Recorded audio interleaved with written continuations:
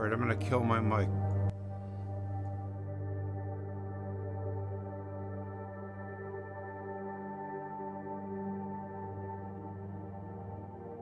Take a look at the deepest yearning of civilization's builders, and you will see the yearning for paradise.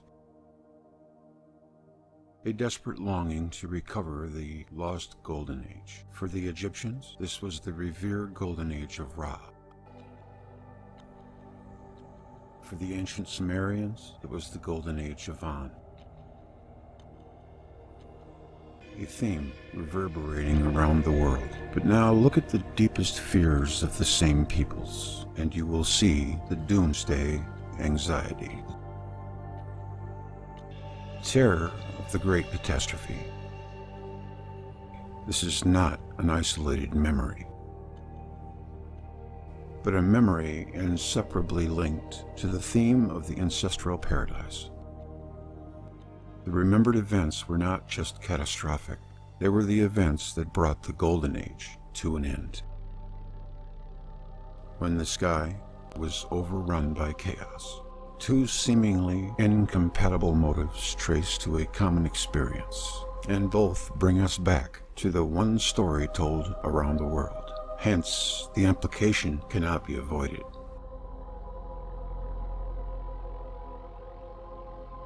Something extraordinary was remembered by the first Skywatchers.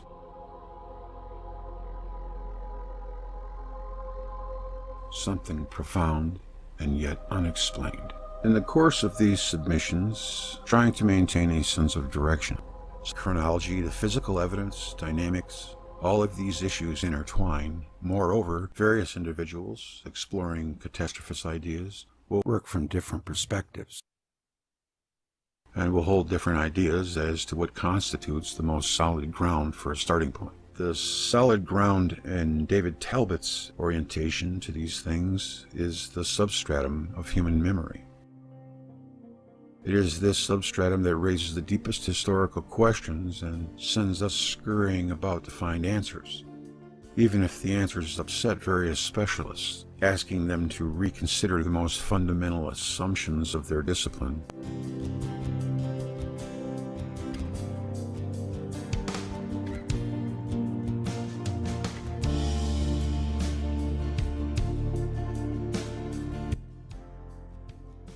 My own conclusion came as a great surprise. The substratum of human memory is incredibly dependable, but others would consider that to be a losing proposition out of the gate.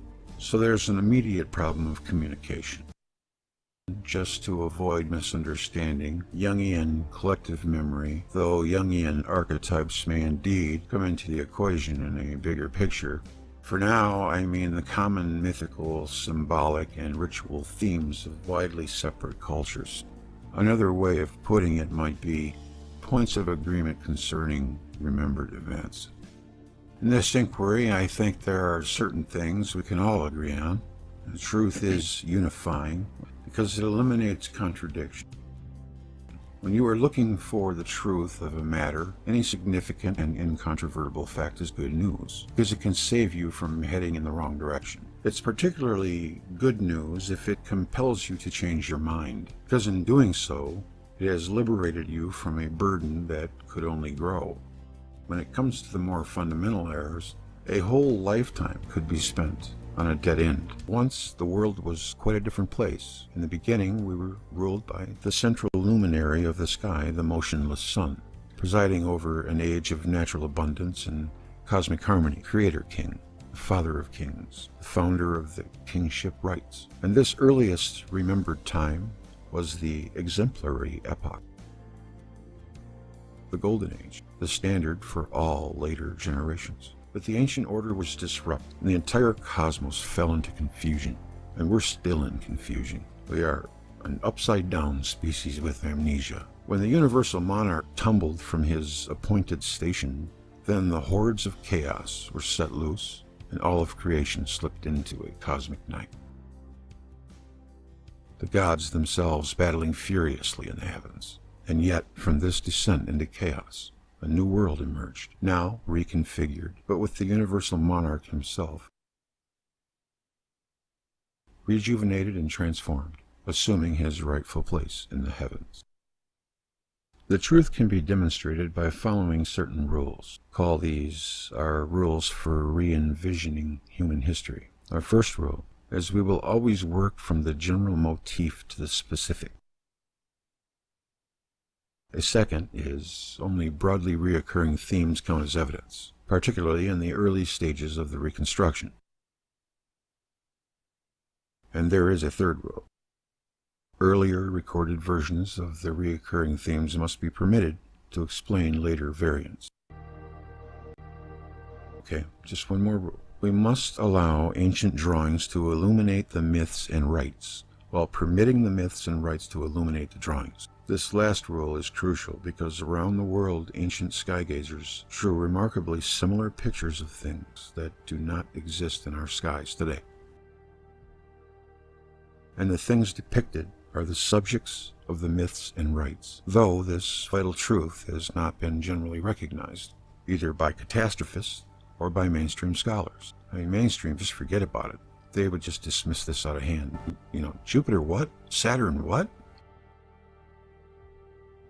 Let's take one story a step further. And how many archetypal figures of myth are there? There are seven. I say with smug assurance. Well, there are just seven. But it all depends on how you count these guys and gals. For openers, we know there is at least one archetypal figure because he is the god whose ancient name was One. The primeval, all-encompassing unity. This figure is, of course, the universal monarch the subject of our one story, so our one story might be subtitled The Story of One. Examples would include Egyptian Atum and Ra, Sumerian An and Utu, Akkadian Anu and Shamash, Hindu Varuna and Brahma, Greek Uranos and Kronos, Aztec Ometeotl and Quetzalcoatl, to name a few. Our claim is that all other stories, all other archetypal figures, when investigated at the core, lead back to the one story, intersecting with this story in the most remarkable and explicit ways. Here are the other figures. The Queen of Heaven. Wherever you find the universal monarch, you will find, close at hand, the ancient mother goddess, the goddess whom the Sumerians called Inanna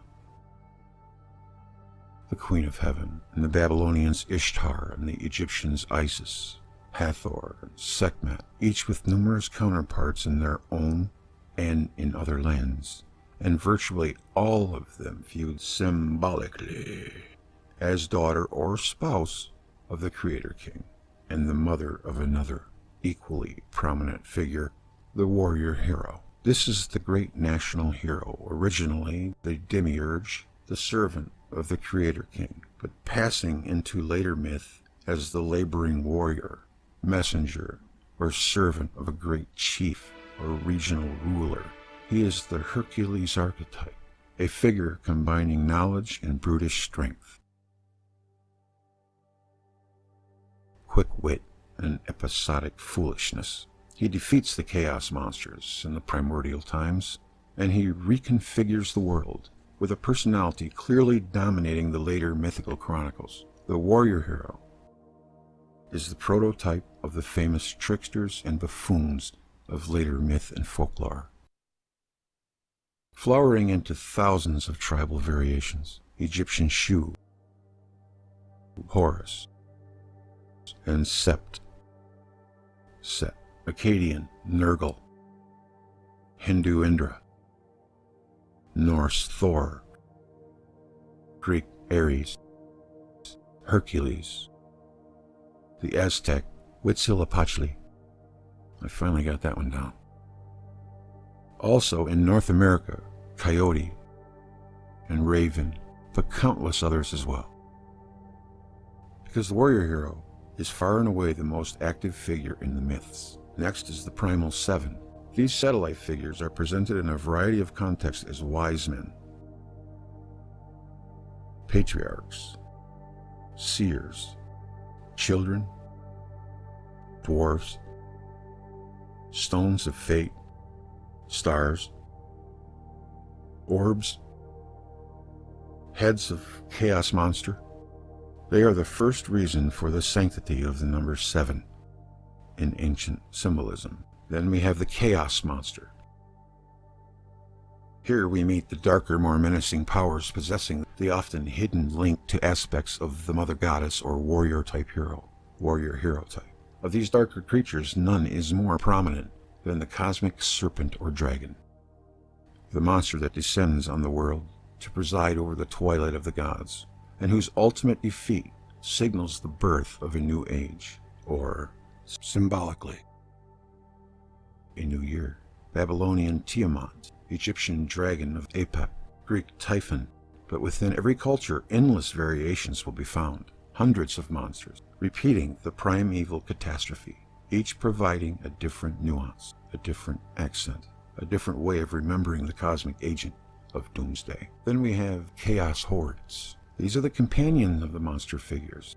They are the swarming powers of disorder and calamity, the friends of darkness. Flaming, devouring demons, which so many magical rites were contrived to ward off. From the Norse Valkyries to the Greek Erinyes, from the Babylonian Pazuzu, Pazuzu. demons to the Egyptian fiends of Set. Every culture remembered the onslaught of these chaos demons moving across the heavens as a, a sky darkening cloud and ushering in the cosmic night. In their earliest expressions, they do not just announce the primeval catastrophe, they are the catastrophe. Then we have the rejuvenated Creator King. Lastly, there is the compelling personality of the dying God King, often a resurrected or transformed figure whose spring back to life is reflected in the dramas of the new year, symbolically, the passing from one age to another. Though his identity is inseparably tied to the universal monarch, he nevertheless emerges in distinction from that god as his son, the younger version, or rejuvenated form of his own father. Examples would include the Egyptian Osiris, Akkadian, Marduk, the Persian Ahura, Mazda, Norse Balder, Hebrew Yahweh, Phoenician Bel, Greek Zeus. So there are just seven archetypal personalities of myth, if you count them in this way. We are not separating the chaos monster into its male female aspects. So we count only one monster. We are separating the universal monarch into his elder and younger versions, however. End of part one.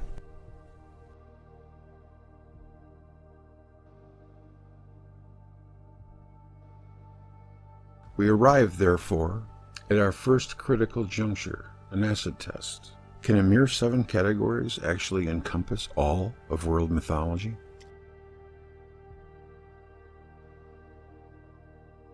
While there are numerous complexities and ambiguities to slow us down periodically, the vast majority of well-documented regional figures of myth can be readily identified in terms of these archetypes, and the implications are quite astounding if you set this principle beside the different theories offered to explain myth in the past.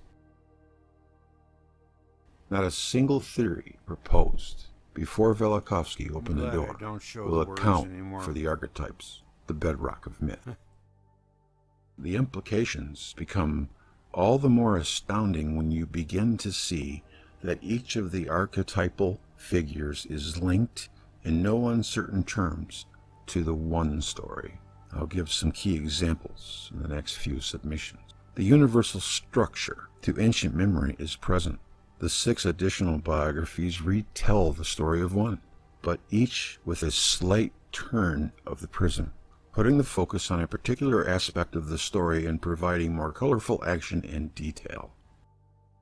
What an amazing principle, if true. Of all the skills that the independent researcher might bring to his inquiry, none will prove more crucial than, than that of pattern recognition. There is structure to myth, structure that has never been sufficiently acknowledged. Structure implies coherence, an integrity between the parts. Clearly, human imagination must have gone wild to have produced the incredible vistas of the ancient mythscape. But structure is there too, and structure means that human imagination was not operating in a vacuum. What could have unleashed human imagination in this way, while yet inspiring a universal myth? Nothing less than the most awesome and traumatic experiences in human history, I would say. And that was by Dave Talbot. I ran into it just surfing around on this page that you'll find a link to in the description, and it's uh, Saturn Theory Overview. It's called Thoth. Some early Talbot from 97.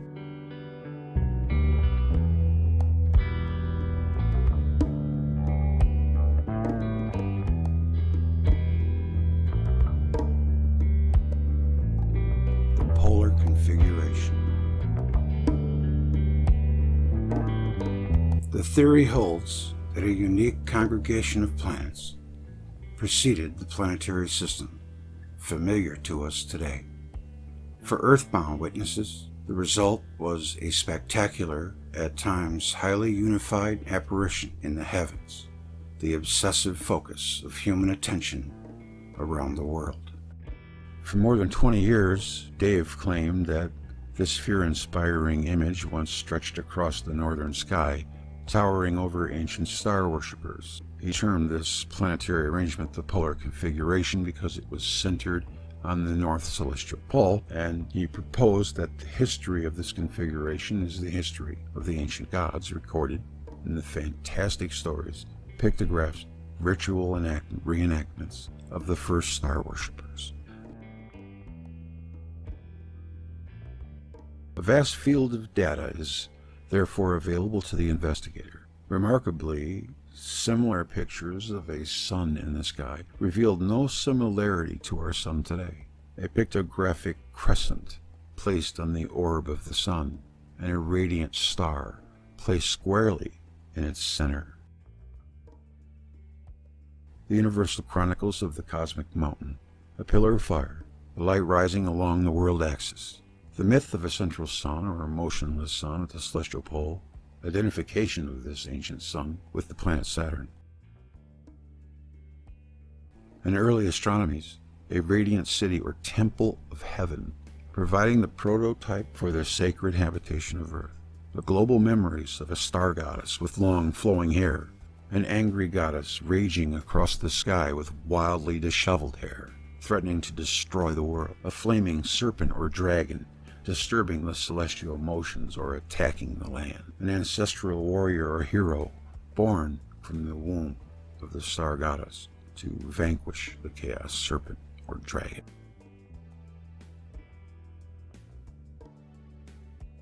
Is it even possible that such diverse motifs could have a unified explanation? One fact remains uncontested after many years of publishing on this subject. The hypothesized planetary configuration does predict or account for hundreds of ancient themes never before explained. And at a level of detail or specificity, ah, there it is, specificity, there it is, at a level of detail or specificity, specificity that could not be denied. Indeed, I have gone so far as to brashly claim not a single general motif or ancient myth, ritual, or symbolism is left unexplained in the most straightforward way by the model. And that's what I mean when I say the model supports a general theory of ancient symbolism as a whole. It needs to be emphasized, therefore, that the historical argument for the polar configuration is fully testable against a massive historical record of nonsense. And I would hope that this will provide some assurance to those unnerved by the source material, ancient testimony. If the model is fundamentally incorrect, the experts on ancient myth and symbolism will have no trouble whatsoever refuting it. Vine Deloria, author of the recently published book Red Earth, White Lies, that Ted told me about when I talked to him, as has asked a couple of questions which I would like to address, but not in one shot because the questions are too fundamental for that. I'd like to see if I can divide the issues into segments that could make for useful discussion. The Saturn theory arose from a historical argument in the sense that the argument relates to the human past, as implied by the details of human memory in ancient times, and by human artifacts. I shall offer this series of summaries as an exercise in clarifying the historical argument without the aid of visual presentation. One obvious and immediate question is whether something is as ambiguous as myth could actually qualify as evidence. The historical argument focuses on points of agreement in the memories of widespread races, suggesting levels of coherence, often missed by historians and anthrop anthropologists, and raising the possibility that this coherence arises from a core of human experience that has been missed as well. There is an overarching idea in this argument. We've not only misunderstood the past, we've failed to recognize the consistency of ancient memory in pointing to extraordinary events never considered by modern science. John Cook said in his writings, mainstream science would have us believe that in the last two to four thousand years, nothing has happened. Remarkably, every motive of our early ancestors directs our attention to experiences impossible to comprehend in terms of any natural phenomena occurring today. This consistency will be seen even at the most fundamental levels of human memory, in the most deeply rooted theme of the first civilization. The universal memory of a former age of the gods. The universal memory of an ancestral golden age, inaugurating the age of the gods. The universal memory of a celestial king of the world, whose life inspired the ancestral leap into civilization. Descriptions of the gods as luminaries of immense size and power, wielding weapons of thunder and stone, the universal claim that the ancient world evolved by critical phases or cycle, punctuated by sweeping catastrophe. Global traditions of gods and heroes ruling for a time, then departing amid terrifying spectacles and upheavals. The frequently stated transfiguration of the departed gods into distant stars. The identification of these ruling gods with planets in the first astronomies, the relentless urge of star worshippers to draw pictures of celestial forms never seen in the sky, their desperate yearning to recover the semblance of a lost cosmic order, their collective efforts to replicate in architecture, the towering forms claimed to have existed in primeval times, their festive recreations, through mystery plays and symbolic rites of cosmic violence and disorder, their reputation through ritual sacrifice of the deaths or ordeals of the gods, of the gods, their brutal and ritualistic wars of expansion, celebrated as a reptilian or as a repetition of the cosmic devastation wrought in wars of the gods, the gods, motives, as these constitute in fact the most readily verifiable underpinnings of ancient ritual, myth, and symbol. How strange that in their incessant glance backwards, the builders of the first civilizations never remembered anything resembling the natural world in which we live. What is needed in the face of usual but widely repeated memories is brutal intellectual honesty. Amen Ra. How did human consciousness emerge from the womb of nature, converge on the same improbable ideas contradicting nature. For centuries, we've lived under the illusion that our ancestors simply made up explanations of natural phenomena they didn't understand. That's not the problem. What the myth makers interpreted or explained through stories and symbols and ritual reenactments is an unrecognizable world, a world of alien sights and sounds, of celestial forms, of cosmic spectacles, and earth-shaking events that do not occur in our world. That is the problem. From an evaluation of the global themes of ancient cultures, we have hypothesized a world order never imagined by mainstream theory, a world in which planets moved on different courses, appearing huge in the sky. Heavens spanning celestial forms dominated human imagination to the point of obsession at the time of civilization's birth. Our contention will be that hundreds of ancient themes speak for a unified experience, an experience more specific in context and detail than any of us had ever imagined when we started our research. No universal theme stands alone or in isolation from any of the others. All are connected. All speak for the presence of coherent memory beneath the surface of seemingly random detail. In offering these summaries, I'm not to asking sure or expecting anyone to embrace me the extraordinary theory back, right? of planetary history involved, only to consider highly interesting evidence that it is. Merely discovering the active memory will throw remarkable new light on the ancient structures of human consciousness. In the course of these summaries, questions and challenges will be welcome, and Yeah, no whenever rush, possible, I just will to try make sure. incorporate these into the narrative as we go along. Said David Talbot. And then it continues. A different aspect of the same story. That's what I was looking for. Corroboration, but not in verbatim. The story of the one. Some early Talbot from 97.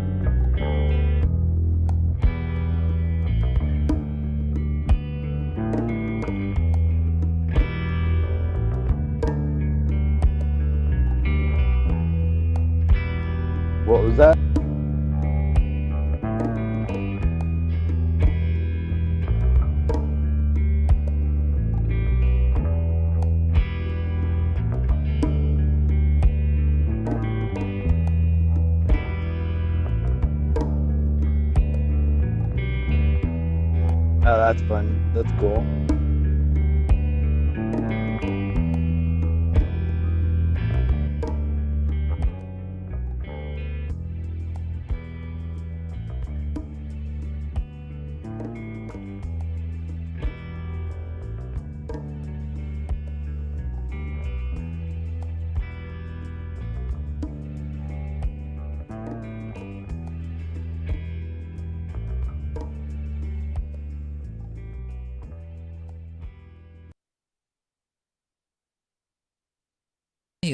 Nearby planets, or subdwarf stars. Worlds with an opposing negative electrical potential with respect to Saturn would be attracted into resonant alignment during these close encounters. Eventually, several planets, including Earth, Venus, and Mars, were steered and captured into an interplanetary configuration centered on Saturn. As planets locked in polar resonance with Saturn, they were simultaneously trapped in a second order resonance with Jupiter and with each other. The Nice model suggests that when the system naturally evolved into a configuration in which the giant planets were locked in a quadruple resonance, the planets had to move in parallel to preserve the resonant configuration. All in all, according to David Talbot, the entire planetary configuration moved through a gaseous envelope extending perhaps several million miles from Jupiter. Jupiter was the apparent source of an interplanetary vortex within the gaseous envelope, a vortex powerful enough to bring the participating planets into alignment and to maintain the alignment in the face of the natural forces working against it. Incorporating all other gods who came near, Hesiod said, Cronos swallowed all his children but Zeus, intending to prevent the kingship of the gods from passing to any other of the majestic sons of heaven. Nice models and Saturnian scenarios alike have proposed that Uranus and Neptune also became integral components in the temporary stability of the planet's multi-resonant configuration. Inside the configurations encompassing magnetopause, the fixed stars would have been obscured by a cloudy, aurora-like phosphorescence. At the apex of this gloomy or rainy cave-like canopy stood the large central sun-like disk of hot, inflated proto-Saturn. Fragmentary memories worldwide similarly recall giant primordial figures embodying the whole of heaven, or indeed the whole of creation. This phase appears to be synonymous with the protoplanetary Saturn Nebula, recalled in a variety of esoteric lore as the primeval state of our solar system and the abode of the gods of former times at the top of the world. Talbot has conjectured that Jupiter was originally hidden behind Saturn. It is here proposed that this was indeed true for a good portion of the Saturnian Golden Age. Because Earth appears to have been the furthest body below the conjoined orbits of the other Saturnian planets, Earth would have been a considerable distance vertically below Jupiter also. In such an arrangement, Earth and its synchronous Saturnian companions would pass by Jupiter roughly once with every yearly revolution around the Sun. A visually distorted Jupiter may have been occasionally visible in the north skies when Jupiter and Saturn were near conjunction. Under such conditions, Jupiter would have appeared as a bright upturned crescent, horn, or sickle backlit by the sun.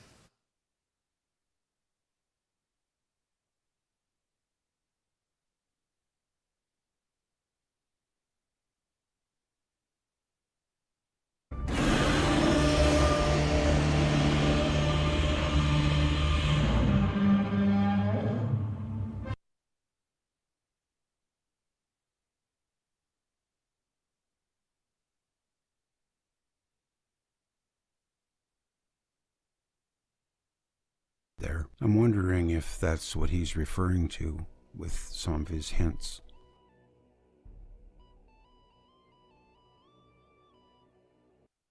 Stay with me. You find yourself alone, riding in green fields with the sun on your face. Do not be troubled, for you are in Elysium, The Silver Age and the Rise of the Blue Bloods. The legacy of the Saturn death cult and its effect on mankind really begins with the priesthoods of the Silver Age and the rise of the nobility, the Blue Bloods. Central to the existence of the new Silver Age priesthoods was the belief that what had destroyed the Golden Age could happen again. Utilizing the new technology of writing, they set about recording the cataclysmic events as the Word to serve as a memory and a warning to future generations. These warnings formed the basis of secret societies within these priesthoods. Preparations were made to ensure survival should doomsday return. The advent of writing gave the priesthoods of the Silver Age the technology to keep alive the memories of the cataclysmic end to the Golden Age. As people began to forget how Saturn once ruled the heavens, the increasingly misunderstood records of the priesthoods would become the basis for the beliefs of mystery schools and secret societies down through the ages. Second Age of Discovery. A second great age of voyage and discovery ensued in which the refugees of the destroyed Golden Age civilizations determined to make a survey of their transformed world and cosmos and establish through their priesthoods the righteous and justice they perceived to be the legacy of that former age. Weights and measures and calendars were established and enshrined by law in a growing network of interlinked temples and monuments that span the globe. The Masonic mystery schools of the great civilization builders had arrived. Was Egypt's ancient civilization a legacy of refugees that had survived the great cataclysm and had brought the golden age to an end? Some esoteric traditions trace Egypt's past to Atlantis. Earth captures the moon. In keeping with the arrival of the Silver Age and its new sun, a new silvery marvel could now be seen in the heavens, Earth's moon. Captured by Earth and the distinctive chaos that was the Saturnian system's demise, was this white globe exhibited crescent-like phases under the sun's light that harkened back to the glory days of the Golden Age, when Saturn's rings would be illuminated as crescents surrounding the former deity. It's a matter of conjecture of when Earth captured the moon. Contrary to popular belief, the moon's heavenly cratered surface is actually proof of extreme electrical strike activity due to the crater's almost uniformly perfect circular shapes. Meteorites and asteroids create angular impact craters and rarely hit celestial bodies at perfect 90 degree angles. Electrical experiments do, however, show electrical lightning produced the same kind of cratering as seen on the moon. The moon's craters can therefore not be used to date the age of the moon based on meteorite impacts, a rare event in any case throughout human history. The new moon proved an excellent keeper of time, yet its arrival would only serve to diminish the memory of the original crescents of Saturn and confuse the knowledge. Preserved in the masses of crescent-like symbols established by the priesthoods, moon cults began to distort the original intent of these symbols. Minded of uh, that castle, the coral castle over there at Leedskalns. He's got crescents and Saturn in his uh, little abode there. I'm wondering if that's what he's referring to with some of his hints.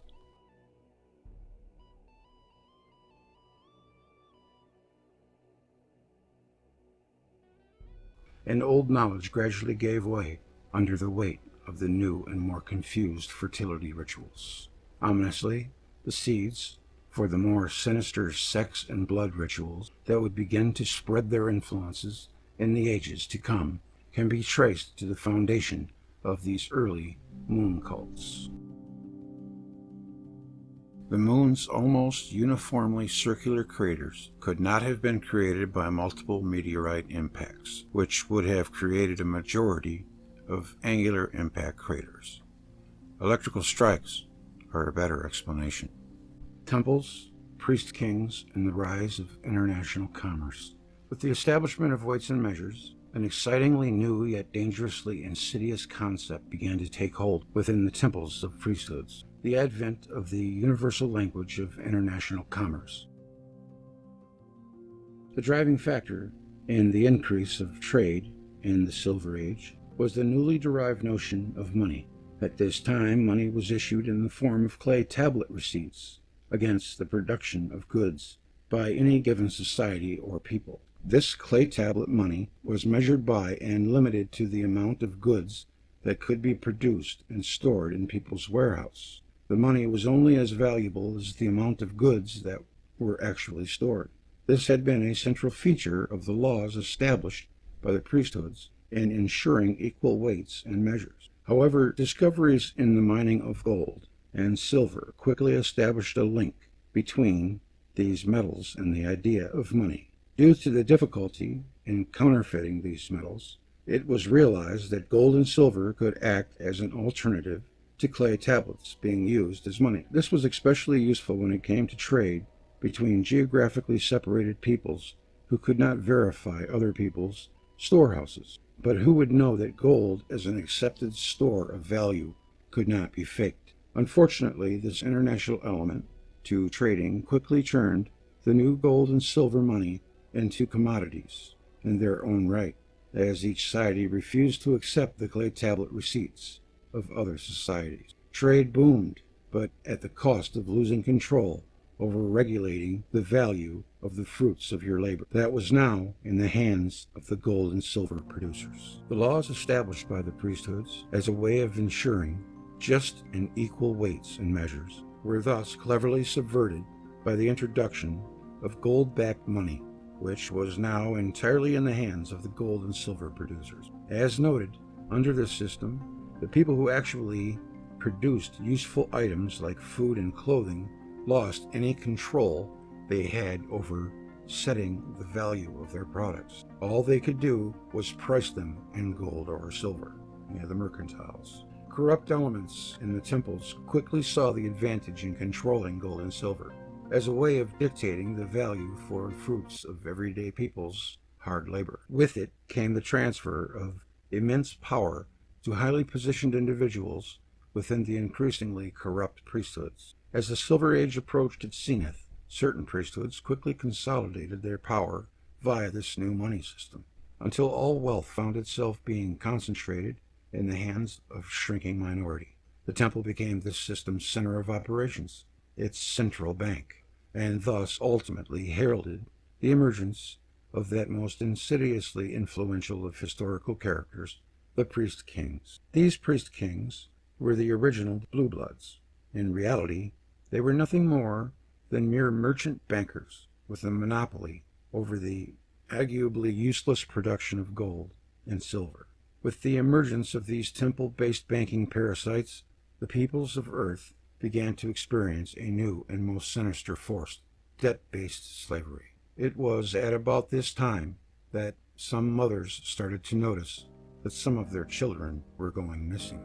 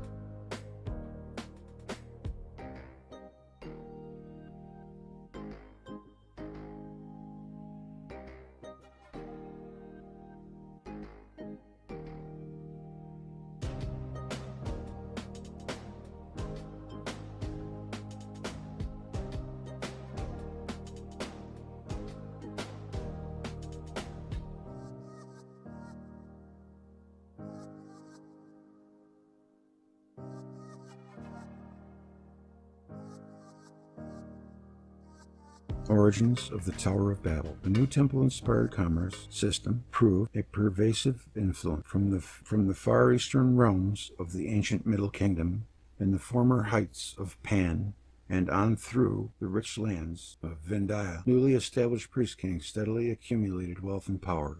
In particular, certain elements of the Li Clan. Li clan of ancient China were to grasp this new concept of trade financing and expand upon it to establish unimaginable influence over the hemisphere.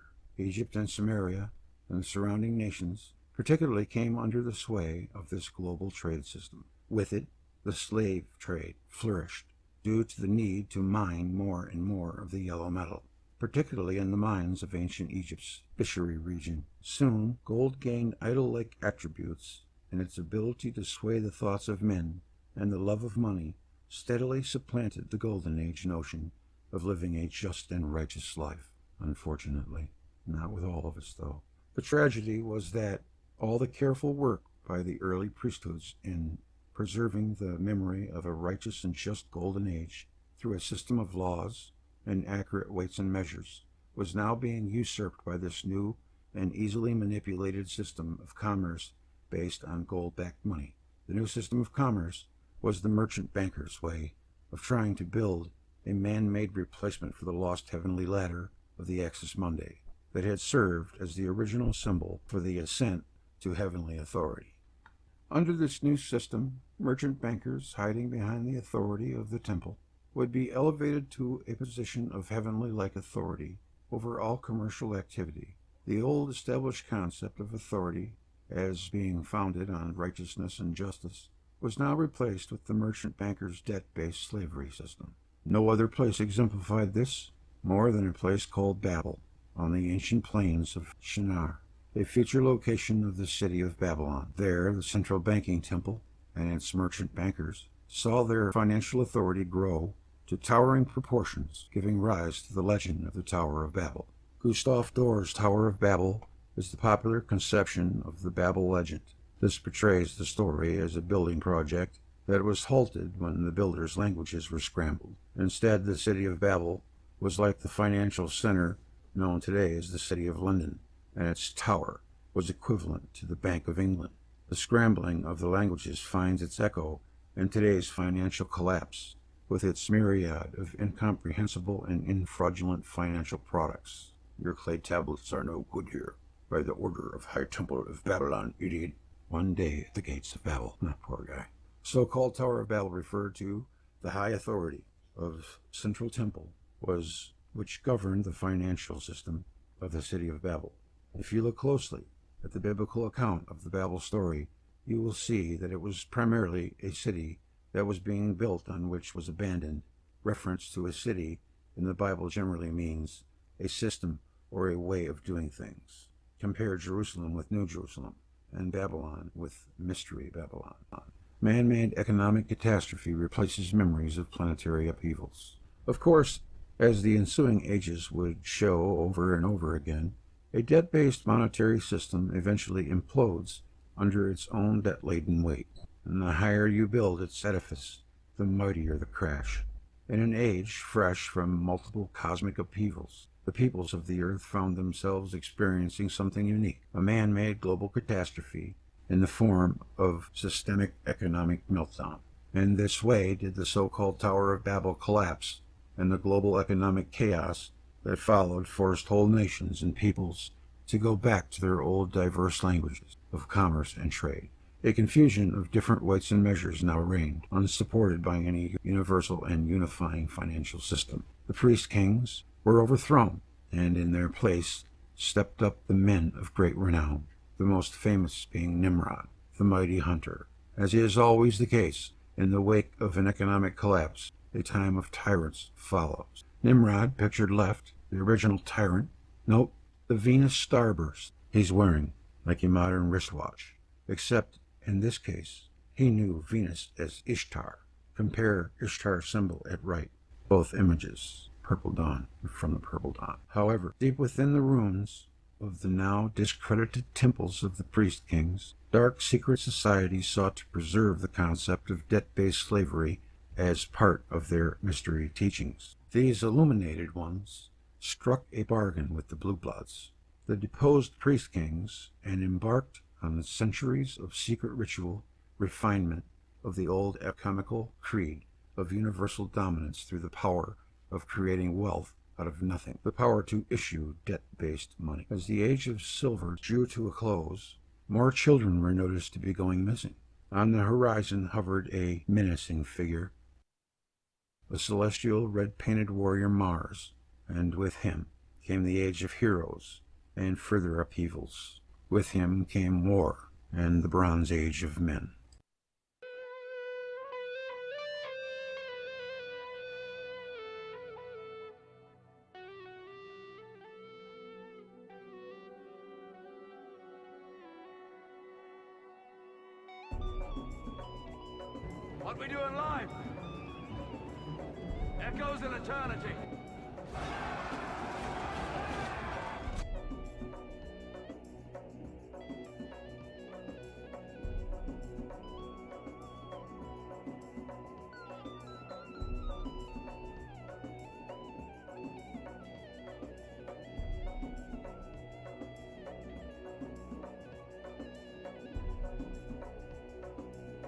Bronze Age. Man as God.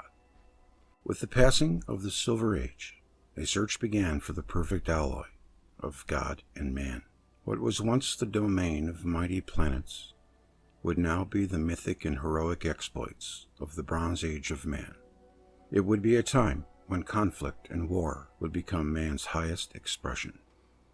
A now comparatively calm cosmos presided over the dawn of the Bronze Age man. For the first time, mankind could look up into the heavens and see a sky not unlike what we see today. Complacency regarding the movements of the planets started setting in, and man began to look within himself as a means of defining both the past and the future. The fear of doomsday shifted radically away from meticulous observation of the planets to a fear of bringing doomsday onto oneself via one's own actions. In this way did the world see the rise of demigods, powerful mythical men and women whose destinies were considered independent of the will of whatever gods had gone before. A golden age meant little in an age where men came to believe they could be a king by their own hand. The warrior king now ruled and assumed the mantle of the Blue Bloods, whose power had been declining after the events at Babel. The age of war was the highest expression of man, now held ascendancy with art and literature, embracing the theme of the individual's will to power as the essence of a new heroic age. However, Mars and Venus were going to have at least one last word on who really did determine the rise and fall of kings and kingdoms. Rivers would run red, locust storms would strip the land, frogs would breed like rabbits, the firstborn children would suffer statistically improbable rates of death. Worst of all, slaves would feel free to throw off their master's yoke, and an old idea of what constituted righteousness and justice would reemerge. Though a promising beginning for this new breed of blue bloods, the Bronze Age of man was not going to be a total picnic. Those warrior kings who would be their own and everybody else's masters. Mars and Venus continue to threaten the Earth. The first clue as to what awaited the inhabitants of the Bronze Epoch could have been deduced from the fate of a little known city state that enjoyed a certain specialized agricultural monopoly, courtesy of the rise of agriculture near the end of the preceding age. Though this would have been known at a local level for millennia, I it was wasn't until saying, the advent of concentrated farming that the commercial potential of these certain plants could be realized. Chief amongst these was the now infamous poppy plant, a flower capable of transporting those who indulged in its juices into blissful, myopic trances, free of all lingering doomsday anxieties. In the city state that enjoyed a monopoly in the cultivation and distribution of this highly addictive drug, Sodom and Gomorrah. Sodom and Gomorrah was, in its day, the Afghan opium fields, the Golden Triangle, and the British East India Company offered its numbing comfort. Well, they're in here, but their agony on a mic is muted. Forget the stories of its sexual depravities and deviant proclivities. This town was an efficient drug dealing operation, second only to the CIA, which was around back then. No, it wasn't. I'm assuming he means today. Why, whatever do you mean? and its market at the beginning of an increasingly immoral age of bronze was only getting bigger. I mean, even Oh, back yeah. then they were doing it. The more things change, the more they stay the same. Quite naturally, Sodom and Gomorrah's opium trade had proved remarkably recession proof. In the aftermath of the Tower of Babel, Econom has an excellent capacity to help you do just that. Oh, Its addictive properties ensured a ready supply of willing debitors to the Hey, Greg, you know temple-based how I feel. bankers who had You know how I- survived the fallout from Babel. It's 10 to Due 10 to here its now, and I burgeoning just wealth and up for influence as a result of the trade of opium, Sodom and Gomorrah proved a robust economic Quite a lot of work. Quite a lot of work out this week, Greg. You've put plenty out this week to look at, mate. I've enjoyed it. I've enjoyed it all. Uh, uh, the, the, I seem to be getting a sort of um, different uh, egg- uh, versions. Yeah, So I think I'm watching. Yeah, yeah. I, I learned I think I'm watching that. plenty of versions. Oh, good. I want you. I want to get your opinion on the moon. It was the first one I did tonight. Uh, it's I, it's from a book I discovered. It was written in '57. It was it's called Atlantis and the Reign of the Giants. Of course, that's an awesome title, so I had to read from it. Right. I read the first chapter. It's pretty good. You know, I mean, it's different. That's all. Well, it it is different, Greg, and uh, it's it's brilliant. Uh, like uh. I mean, the stuff in there about Sodom and Gomorrah that I've never I've never come across before. So uh, it's uh, it's very interesting. Oh yeah. Uh, Oh, you mean the Troy stuff? Yeah, yeah, yeah. I did that quite a while ago. I was gonna play the second half of it right now. Okay, great. You, you want to check it out? Yeah, definitely, All definitely. right, I'll leave definitely. the mics on. If you want to say something, feel free. Okay, I gotta, Absolutely. I gotta find it.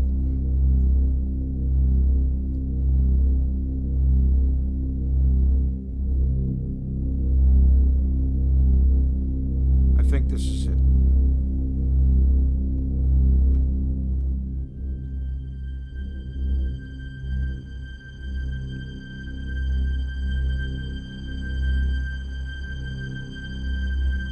Purple Dawn of Mankind by Troy McLachlan. In the beginning, there was only darkness. Yet in that darkness there was already Raven. He was still small and weak, and his special powers had not fully developed. From an Eskimo creation myth, Raven being their version of the Saturn archetype. C.M. Wood, Heroes and Hunters, from North American Indian Mythology. New York, 1982, page 17. Before the golden age of Saturn, or Kronos, as he was known to the Greeks, a time in which mankind was said to have enjoyed a tranquil and plentiful existence, bathed in the flawless light of a perfect and timeless sun. There was a primordial dawn of eternal twilight. In the earliest legend, with which the recital, i.e., the Kojiki, opens, one recognizes the primal myth, the development from a primordial darkness and chaos. This is the Kronos legend, in its thousand forms, the father of all mythologies, upon which so many peoples have constructed their cosmogony. P. Wheeler, The Sacred Scriptures of the Japanese, New York, 1952, page 387, as quoted by Dwardu Cardona, Godstar, 2006. Some mythological cycles feature a primitive age of darkness before the existence of the sun, when human beings lived in a state of anarchy without the techniques of civilized life. H. Osborne, South American Mythology, Mythology of the Americas, London, 1970, page 294, is quoted with emphasis by Dwardu Cardona, Godstar, 2006, page 278. Note in the second of the two above quotes the reference to an age of darkness before the existence of the sun. According to E.A.S. Butterworth, the sun of the ancients is not the natural sun of heaven, for it neither rises nor sets, but is, as it seems, ever in the zenith above the navel of the world. There are signs of an ambiguity between the pole star and the sun. Yet those words belie what mythology is inferring when it speaks of an age of darkness. We should not construe this age to be one that was black as night, but rather that the available light was subdued and hued with a distinctive color that would come to be associated with Saturn. Tlahuizcalpantecuhtli, an alter ego for Quetzalcoatl, Aztec Saturn, who is credited as being the first light at creation, is the god of the dawn light that was created before the sun. The Roman poet Martianus Capella provides a clue as to what color this light was when he has the goddess Harmonia declaring that the rays from the god Jupiter renew the purple dawn for men, an obvious reference to a previous age before Jupiter's ascent in place of Saturn. The Hopi tribe of North America have songs that talk of a dark purple light of creation coming from the north, while the Chinese still refer to the celestial northern pole region as the purple pole. In all cases, and many others, the color purple is linked to Saturn, especially during a primordial time remembered in mythology as the dawn of creation. What this tells us is that there once was a distantly ancient age wrapped in a sea of dark celestial purple, a purplish light that radiated a dense and global warmth that seems to have emanated from a single dull orb, shining at a time well before the arrival of the sun. We see today this glowing disk appears to have been permanently stationed at the far north of the heavens, as the late researcher Dwardu Cardona surmised. The evidence of myth, which points to Saturn having once occupied a position above Earth's north polar regions, is voluminous. There is not a race on Earth it has not preserved at least one account which states as much. According to this evidence, Saturn occupied a central position in the north celestial regions. It rotated, and rotated widely, but other than that, it was immovable. Cardona 78. It is this darkened and primordial sun, this dull and immovable orb, that would eventually become the god and planet known as Saturn. But before Saturn rose to his status as the great creator god of mythology, Primordial man spoke of this time as the great dream time of our distant past, a time celebrated in the oral and written traditions ancient peoples the world over. Like a man was the sun when it showed itself. It showed itself when it was born and remained fixed in the sky like a mirror. Certainly, it was not the same sun which we see, it is said in their old tales, the Popol Vuh, Mesoamerican creation story. According to this understanding, at that time, there was no bright yellow sun as we know it today, one that rises in the east and sets in the west. There was no way to calculate the passage of time, to tell day from night. No stars could be seen through the dense atmospheric purple haze that engulfed the heaven. There was no moon from which to tell the passing of time by its phases, or by which the Earth's ocean could be influenced by great tidal forces. Humanity lived in a perpetual state of dusky darkness. Everything wrapped within a warm and bountiful purple hue that permeated all existence and in which the nocturnal thrived. Like a giant blind reddish purple eye looking onto the world from within a swirling heavenly purple chaos. Primordial man would have seen Saturn as a single pale disk of light radiating its benign presence from a position locked at Earth's celestial north. It had always been there, a presence that was an integral yet silently ethereal part of the earth's landscape and mankind's experience. For how long this state of affairs had lasted, it is impossible to tell.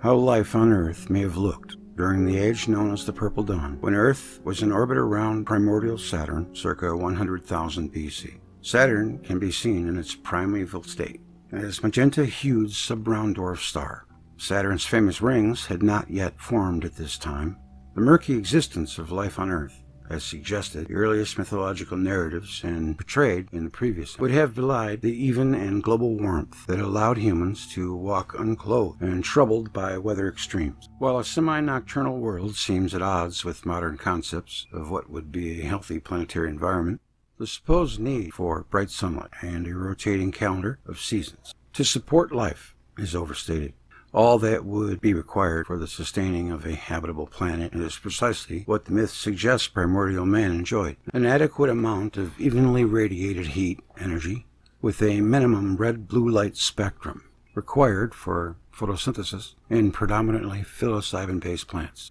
Much in the same way, I swear, much in the same way that we observe coastal areas supporting submerged red algae under the filtering effects of the oceans. So too would the Earth's primordial environment under Saturn have enjoyed a radiating filtered heat in which red-hued vegetation would have flourished. A collection of pioneering alternative theorists have, in recent decades, sought to identify this dull primordial sun of mythology as having been a brown dwarf star, a fairly common celestial object that would have radiated energy in the red blue, purple spectrum, rather than the red green bright light of the sun we see today. Accordingly, when factoring ancient descriptions of the god Saturn in his primordial state, we can determine that if Saturn was indeed a brown dwarf star, then Saturn would have typically produced its own far-reaching heliosphere, or what electric universe proponents call a plasma sheath, a type of electrical bubble which would have extended out into space like a giant egg-like cocoon. The startling supposition is that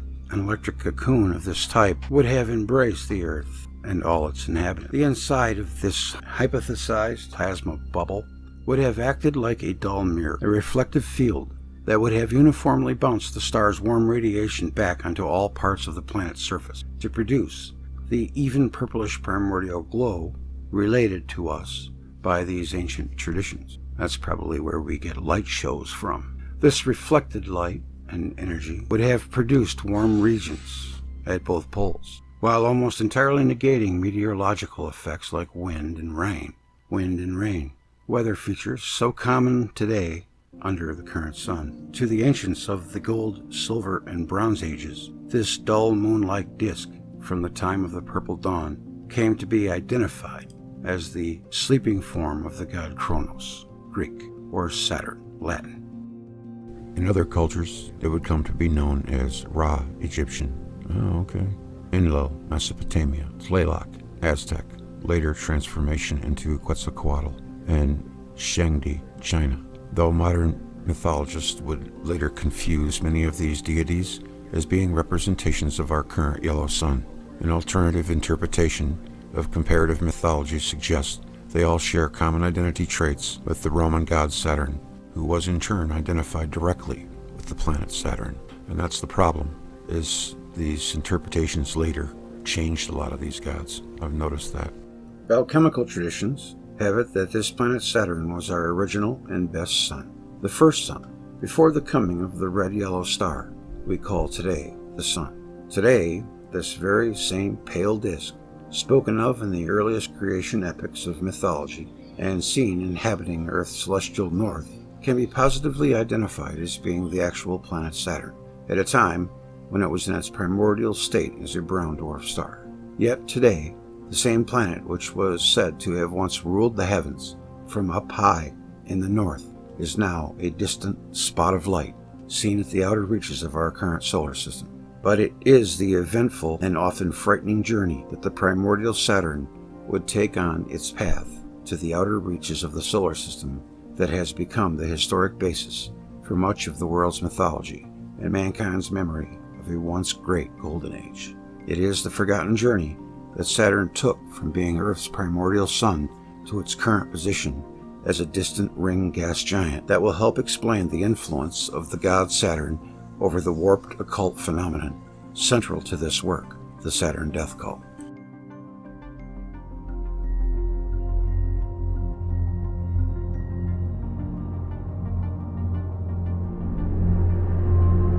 Locating Earth's original geomagnetic North Pole.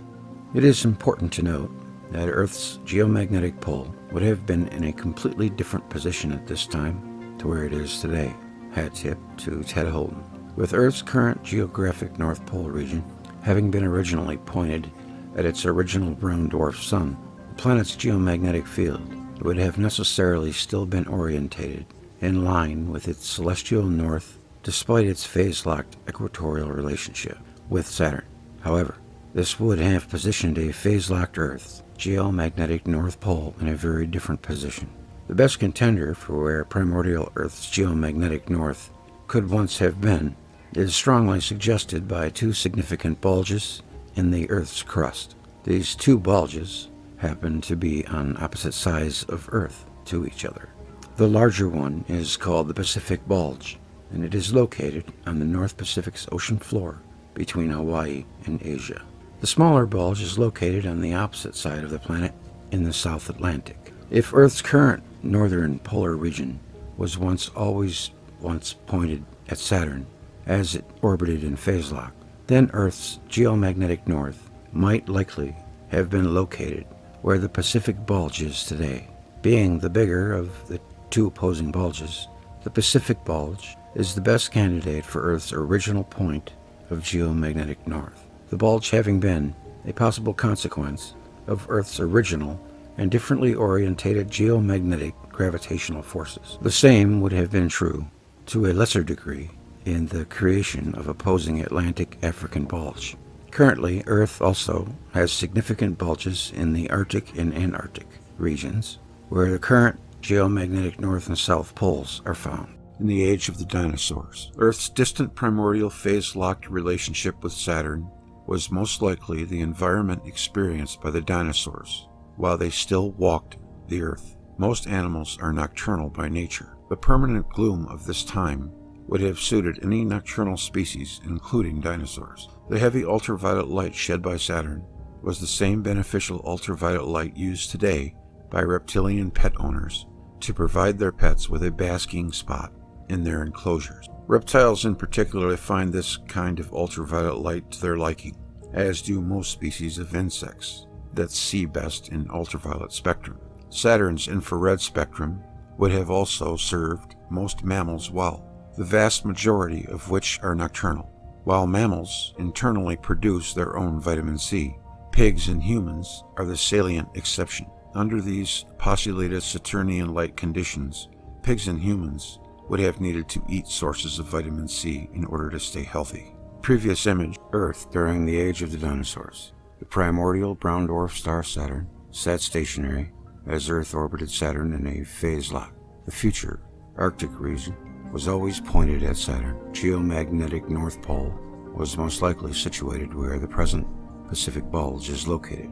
A permanent purple twilight saturated the Earth, with Saturn's plasma bubble appearing like a vast heavenly chaotic ocean. The even purple-hued light shed by Saturn and its plasma bubble cast no shadows, and the air was gently still. No rain clouds formed on the Earth, but Saturn's water misted down onto Earth's surface in a dense, humid vapor. Saturn's ultraviolet light spectrum would have been highly beneficial for nocturnal reptilian species. Great.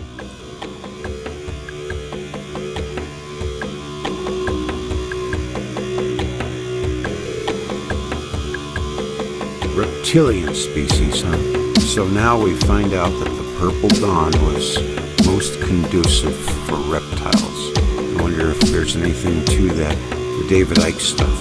I wouldn't be surprised. Have you heard of the Emerald Tablets by Thoth? It just so happens a reptile was green. Apparently they were found under a Mayan temple in Mexico. He says in it that one day they will attack those who reside beneath us. How about that?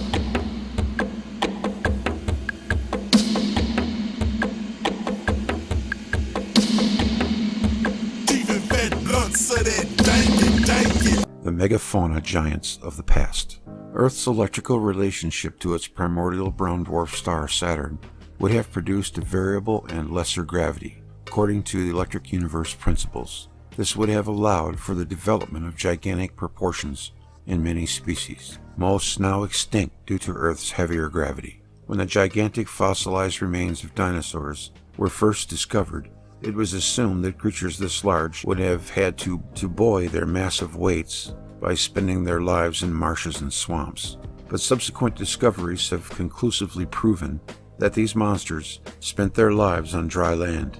They became the impossible dinosaurs because nobody could work out how their physical structures would have supported their own bulk under current gravitational conditions. Much has been postulated in attempts to explain this challenge to the accepted modern day physics model that calls for Earth's gravity to have been a constant throughout its existence. These explanations have been inconclusive in the opinion of this writer, mostly because they are usually an effort to fit the evidence of the fossil record with the gravitational environment we observe today.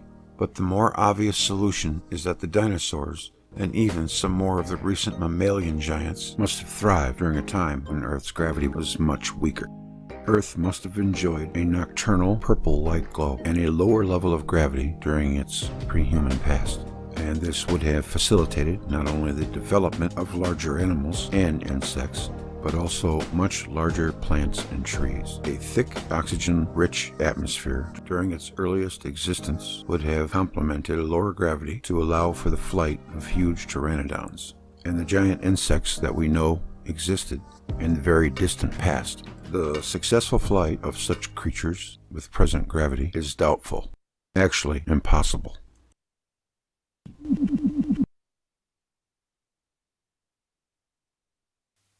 Golden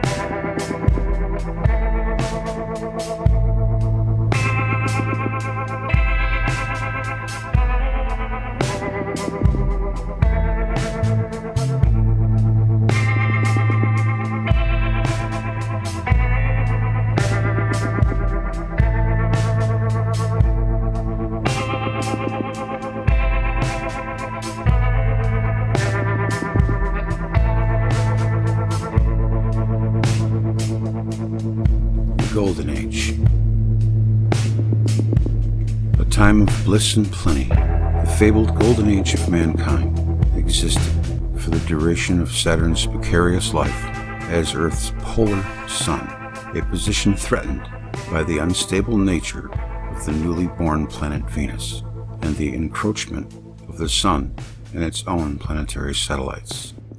While initial contact between the plasma sheaths of both the Saturnian system and the Sun had been catastrophic for life on Earth, it also brought about the impetus for the rise of civilization and the golden age of exploration.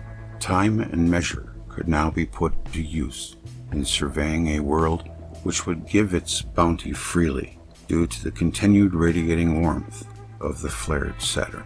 But that was not the end of the cataclysmic events stalking the Earth. What was known as the Golden Age would in fact be permeated with catastrophic episodes that would eventually lead up to one of the greatest cataclysmic events in human experience, the Great Deluge, under a new sun. In the time after Saturn experienced its first contact with the electrical influence of the Sun, the new look Saturnian system spiraled away back into interstellar space. As noted before, the Sun now could be seen from Earth as a distant light rising in the east and setting in the west. Intense auroral activity created various permeations in the pillar-like Birkeland current that connected Earth to the northern heavenly abode of Saturn. You know, and I'm wondering if this is why we like light shows at rock concerts. Rock art, or petroglyphs, have captured these permeations in abundance and provide a useful view of the celestial sights witnessed by man during this golden age. It's a nice picture. The pinch effect on plasmas can lead to a shape that would have looked like a squatting man with arms held aloft in support of the heavens. See pictures below for image of plasma in a laboratory environment. Characteristic rendition of this auroral effect has been etched into rock faces the world over. Indeed, looks good. Hmm. Yeah. Top left recreation of the basic squatter man pinch effect captured in plasma laboratory experiment. Top right, American petroglyphs with distinctive squatting man images. Middle right, Spanish squatter man. Bottom right, American starburst pattern. Bottom left, American squatter man under concentric circles. The emergence of totems in various cultures also reflects a heritage going back to the Golden Age when Saturn's rings appeared as outstretched wing-like crescents atop a glowing ladder. Hmm, I see. The speculative impression of the classic totem pole legacy as represented of the Earth's Birkeland current. When I was a kid, I just loved totem poles. I was just attracted to them.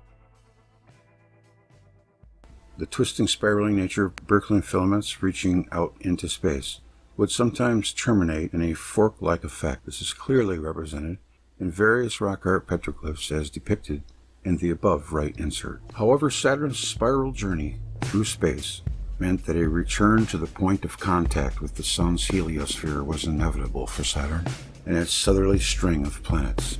How many times this process repeated itself is unclear, but sufficient to say that each time an approach was made, catastrophic events, deluge, global firestorms, and massive Earth changes could be expected to unfold in both the heavens and on Earth. The Golden Age polar configuration of the Saturn system. Though the ancients would not have perceived this as such, the Saturnian polar configuration now consisted of four planets from Earth's perspective. First in line from the northern top of the configuration was, of course, Saturn, itself now surrounded by frozen water rings and orbited by nine small followers. It still glowed brilliantly after its energizing contact with the Sun's heliosphere. Next in line was the feminine Venus, the evening star, the bride of Saturn, a planet that would display wonderful streamers of light when electrically excited that were seen as four and eight pointed starbursts radiating out from Saturn's center. Whether Venus was ejected by Saturn during the first flare up, or had always been there, is not fully understood, but the chaos monster that had heralded her appearance was a direct result of Venus coming to life. After Venus came masculine Mars, red in color, and seemingly enveloped in the womb of Venus. Mars was the morning star, son of Saturn, and viewed as the archetype rebellious hero, unseen during the purple dawn. The massive electrical discharge between Saturn and Mars had obliterated Mars' atmosphere, turning this planet's surface red. These three, Saturn, Venus, and Mars, formed the heavenly abode, an abode that could only be reached via the heavenly ladder that was the giant plasma Birkeland current that rose from Earth's north pole, the axis mundi of legend. Earth, the last in this string of planets, was now the humble abode of mere mortals.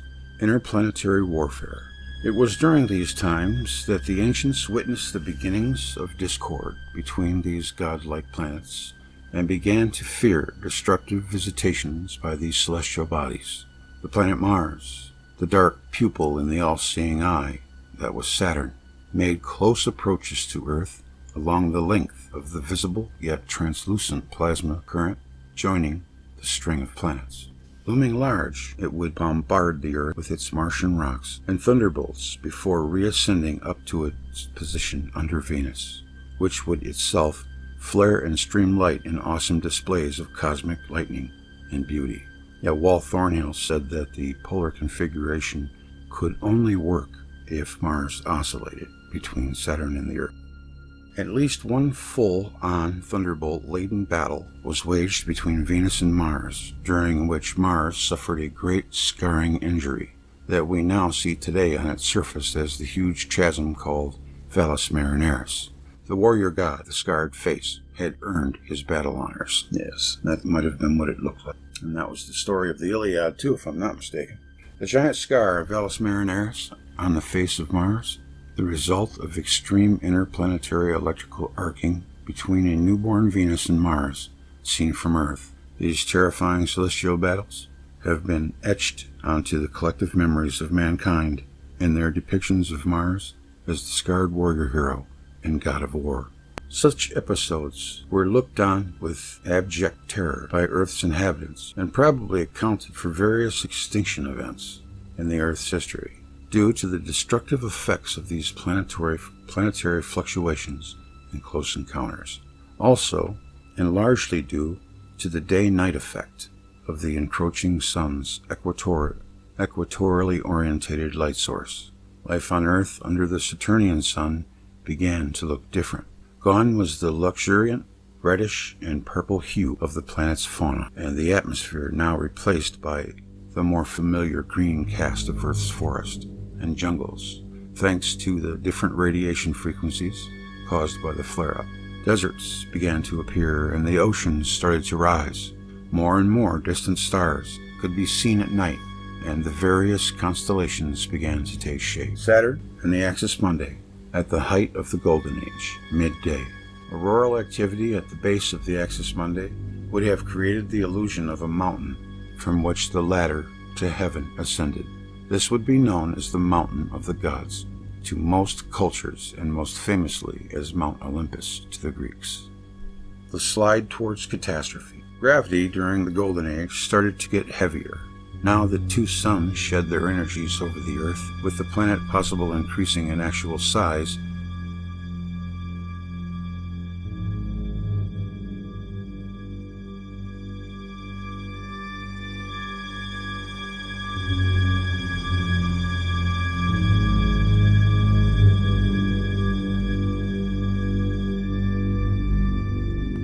increased energy absorption being converted into mass, E equals mc squared. Massive fissures and cracks would have appeared on Earth as a result, with correspondingly dramatic increases in volcanic and earthquake activity. Eventually, Saturn and its family of planets were permanently captured by the Sun, with the result that the Sun began to make a closer yet stable and more regular passage across the sky from east to west.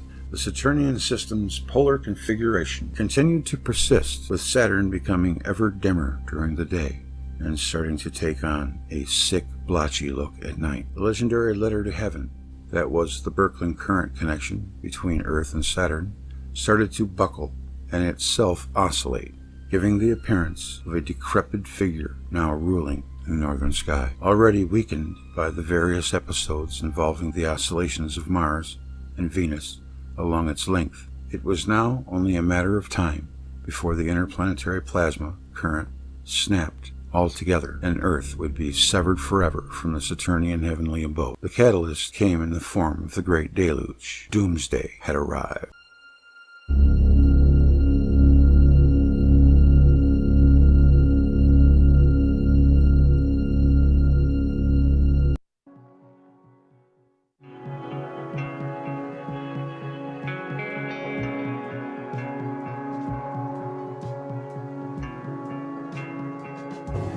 Walk into this room at your own risk because it leads to the future. This is not a new world. It is simply an extension of what began in the old one. It has patterned itself after every dictator who has ever planted the ripping imprint of a boot on the pages of history since the beginning of time. It has refinements, technological advances, and a more sophisticated approach to the destruction of human freedom. But like every one of the superstates that preceded it, it has one iron rule. Logic is an enemy and truth is a menace.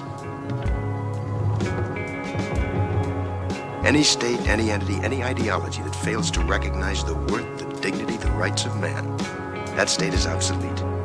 A case to be filed under M for mankind in the Twilight Zone. Doomsday. A great cataclysm called the Deluge is said to have ended the bliss of the Golden Age. Saturn lost its position at Earth's celestial north, and Venus and Mars went on a cosmological rampage. During Saturn's initial flare up, due to its first contact with the Sun's heliosphere, part of the ensuing chaos that enveloped Saturn had seen two filaments of discharged material escape into space, only to be captured by the Sun there for an unspecified time. They orbited their new star until such a time as when Saturn itself eventually became captured by the Sun. These filaments were primarily composed of Saturn's discharged particles of water, the remainder having been retained by Saturn to form that planet's distinctive ring. And what caused the end of the Golden Age? One of these frozen watery filaments collided with the Earth. As the Saturnian ring of planets was being captured by the Sun, this precipitated a deluge of water from space. It lasted for weeks. These filaments were primarily composed of Saturn's discharged particles of water. Atlantis sank beneath the weight. The great continent of Mu perished. Earthquakes of unimaginable magnitude raked the Earth, while giant winds scoured its surface. The Axis Mundi, Earth's fabled ladder to heaven, was irreparably damaged by this collision, and a decidedly sick, blotchy, and dimming Saturn was clearly starting to drift apart from its former system of planets. Severed from their electrical chain like links to their original sun, the planets Venus and Mars ran amok.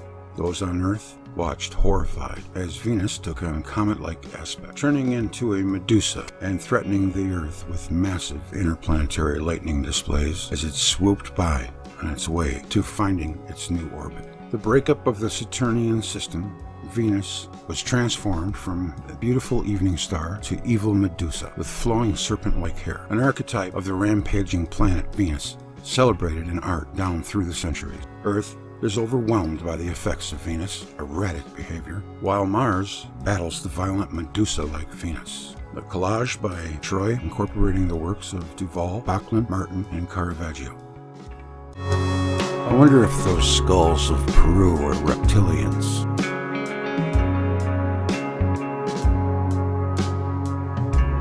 Planetary chaos. Mars was no better and constantly threatened to erratically swing by Earth at close quarters, while hurling stones and thunderbolts before it. Some of these Martian meteorites have been found as far afield as Antarctica. The subsequent series of battles in this free-for-all phase between Venus and Mars loomed large in the heaven and provided the inspiration for much of mythology's greatest stories. As if this were not enough, the slowly retreating Saturn, or at least its position in the sky over Earth, was now being stalked by another player in the grand cosmic drama, Jupiter. As Earth suffered under the onslaught of the deluge from heaven and the Axis Mundi all but disappeared. Saturn began a descent below the horizon. At this time, another bright star was seen to emerge in what had to have been Earth's southern skies. It too was seen to have rings, and due to the increased electrical activity in the region, also sported its own Birkeland current, which sent electrical arcing displays out into space around it, and gave the illusion to observers on Earth as if this new star were dangling by a rope. Called Zeus by the Greeks and Jupiter by the Romans, this previously hidden star seemed to briefly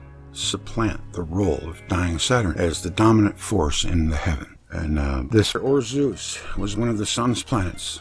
As it orbited into electrical contact with the Saturn system, it could be seen in Earth's southern skies, seemingly dangling on the end of its own Birkeland current. Faint rings could be detected around Jupiter, giving it the reputation of having stolen Saturn's rings. In mythology, Jupiter was the son of Saturn, who ended up murdering his father and replacing him. Mm, nice.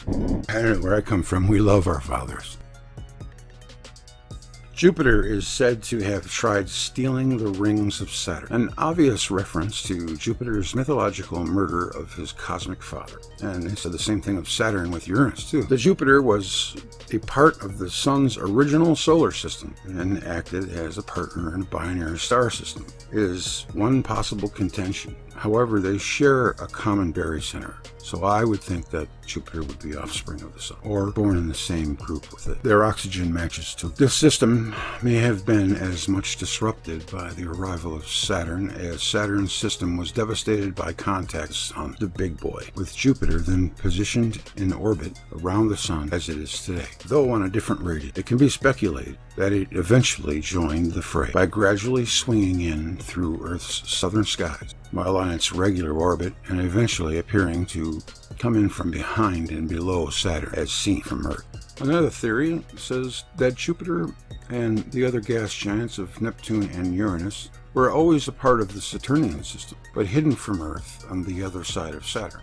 Either way, mythology indicates that Jupiter seized Saturn's place and status in the heavens for a time though Saturn eventually did make a sickly comeback as the reigning Lord of the Rings, as Earth righted itself after the axis rocking events of the Great Deluge. However, the old god was dying, seemingly struck with leprosy, a result of increased atmospheric activity on the gaseous former star, and now sought permanent exile at the outer edges of the Sun solar system, where it remains to this day, a distant pinprick of light, somehow at odds with its reputation as one of mythology's greatest gods.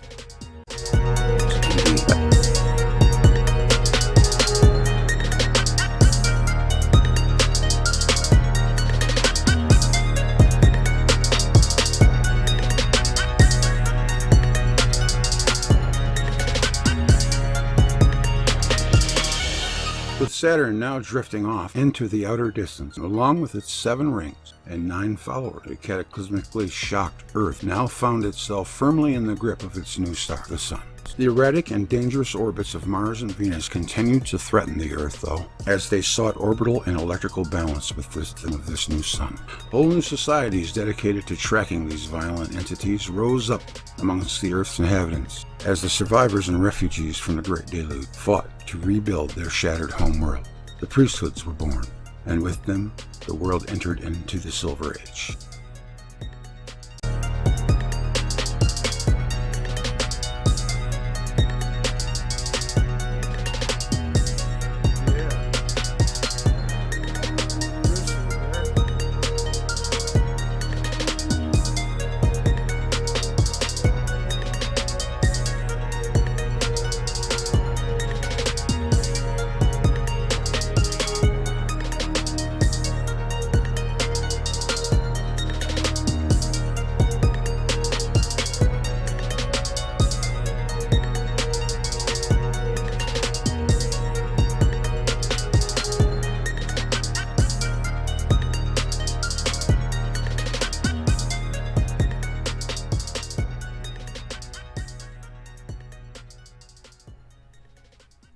Oftentimes I wonder to myself, why does our society seem so upside down? Why is there such a conflict in every area of science? Why does this schism exist not just in one place, but in all places? Why is the electric universe being ignored? Why is our history in such conflict? That's what's so hard to figure out. Who the good guys are and who the bad guys are. I found this interesting read here about uh, Saturn. I'm going to read it to you. Alright, Sheriff in ancient Egypt was a lawgiver, and his badge was always a six pointed star, which is a symbol of Saturn. U.S. sheriffs in the Wild West, up to today, still wear the six pointed star. It is interesting that Saturn's symbol is the six pointed star. Well, now we know that it was also a five pointed and an eight pointed star, so that was just one of its phases. Okay, okay, okay. Star. Saturn is the sixth planet from the Sun. Saturn Day is the sixth day of the week. Not really. Saturday is actually the seventh day of the week, Sunday being the first. People always seem to forget that. Now, NASA is receiving images of the Saturn hexagon, a six sided atmospheric formation at Saturn's poles. The sixth chakra of the human energy system is the third eye, pineal gland. Six, three times is 666. When your third eye chakra opens, you develop your sixth sense of intuition. Well, it's a good one. And spirituality. From a consciousness perspective, the sixth sense, your intuitions, hunches, are messengers of God, your guardian angels. Isn't it interesting that angels have halos, rings, around their heads? And Saturn is the only planet with a halo or ring around it. Okay. Um, that is why today when you get married, you get married before God. And the symbol of that God is the ring that is put on each other's fingers. Uh, don't get me started with that. The ring of Saturn. You're wearing God's ring. And the yarmulke was the round ring that you wear on your head for Saturn, your God. Even in the Middle Ages, in the temples, Catholic monks would shave their heads in a round circle, and Hebrews, instead of doing that, would wear the yarmulke but it all had to do with the round rings of Saturn. Jordan Maxwell, Matrix of Power. The ancient name of Saturn was, as mentioned, El. It is the reason why those that were chosen by El were called elites. Oh, elites, okay. In fact, the words elect, elder, elevated, Elohim, temple, circle, gospel, apostle, disciple, evangelist, etc., all derived from the cult of El. Angels are messengers of God. Angel or Angel, Angel too, for like a builder. But God was El, which is why we have the name of the archangels bearing the El suffix.